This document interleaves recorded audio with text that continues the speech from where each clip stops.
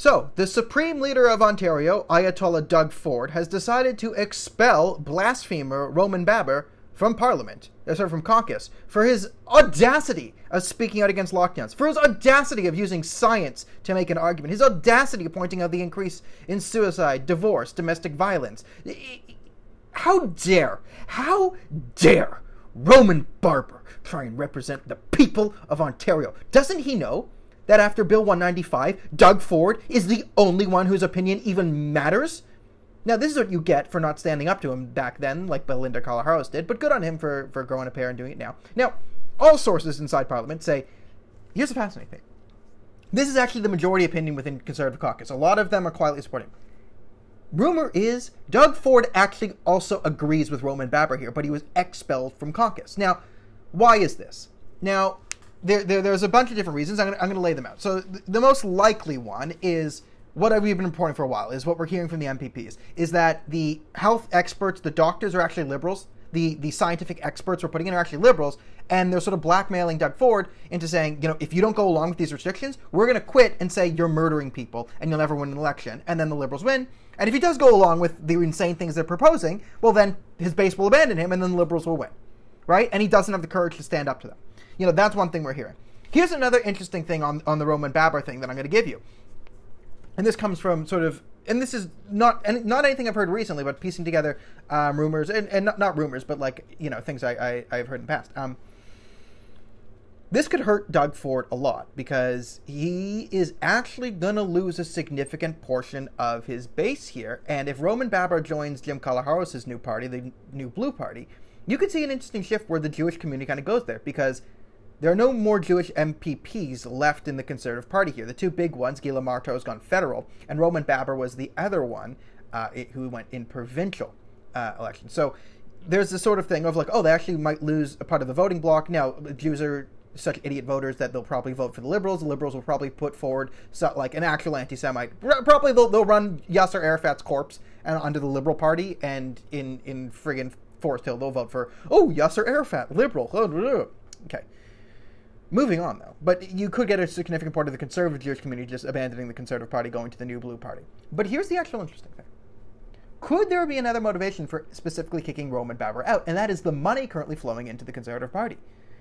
Now, there's a terrorist rally in uh, every year in Canada, across the world, sponsored by Iran called Al Quds Day. And Al Quds Day is a big terrorist rally support. They it's literally funded by the Islamic Republic of Iran. They'll, they hand out T-shirts with the Ayatollah's face on them. They I, I was the one who I was there and I was like, see they're waving the Hezbollah flag that's a listed terrorist organization. And the police were protecting them. I'm like, that's terrorism support right there. Or someone's looking into it. No, they're not. Doug Ford, John Tory uh, ran being openly opposed to Al Quds Day. They say we're not going to let Al Quds Day happen. We're not going to let Al Quds Day happen. Roman Baber was the one who put forward a private member's bill to actually stop the terrorist march on Al Quds Day. And it was killed by chief, the guy who raises the most money inside the Conservative Party, and that's Kaleed Rasheed. And this is what people inside the party were telling me.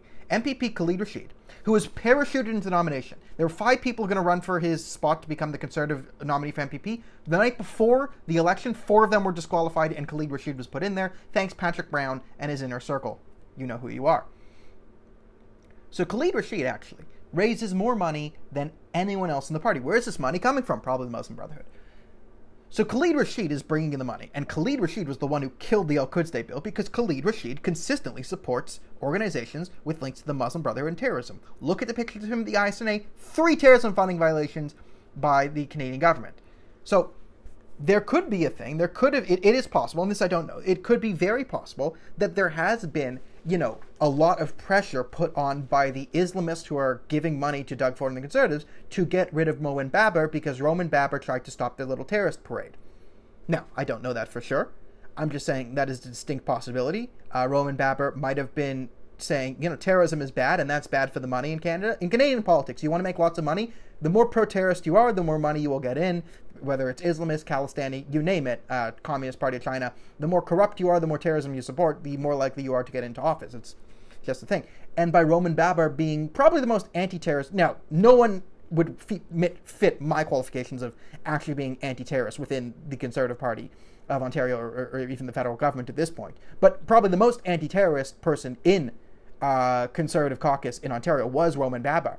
So was that the reason why he was sort of extra likely to get the boot? This is a pretty bad political move for Doug Ford. I mean, Doug Ford is not the smartest guy in the world. He's not the dumbest guy. He should have known that he could lose a majority amount of conservative Jewish support that Stephen Harper garnered by kicking out Roman Baber um, to do this.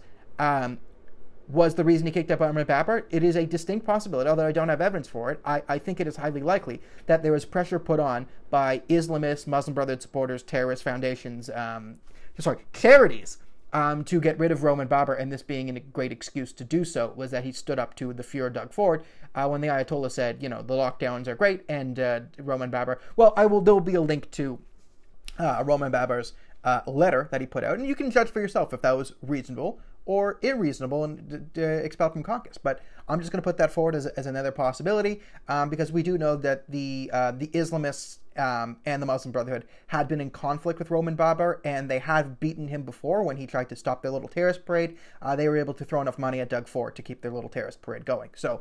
Could this be another instance of uh, another victory for the caliphate over over Canada? Maybe. I don't know, but that's a distinct possibility. I'll throw that one out there. Let's see who's gonna sue me for this video. Haha!